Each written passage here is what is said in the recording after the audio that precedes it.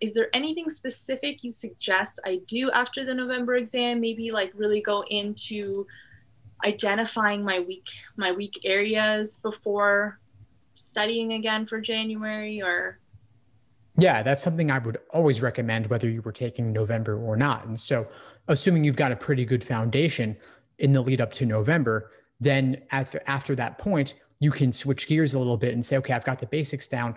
Let me focus on certain particular weak areas, maybe certain logical reasoning types you want to drill, then focus on those as you go for January, along with, of course, doing more full length exams. Uh, one comment I have for you around taking two exams like November and January is save a handful of timed exams for your January take, or maybe even t- save the majority of your timed exams for January because that's the one that really counts for you.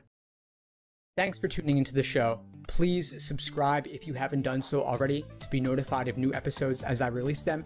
And feel free to reach out if you need anything at all as you move forward with your prep. I'm happy to help however I can.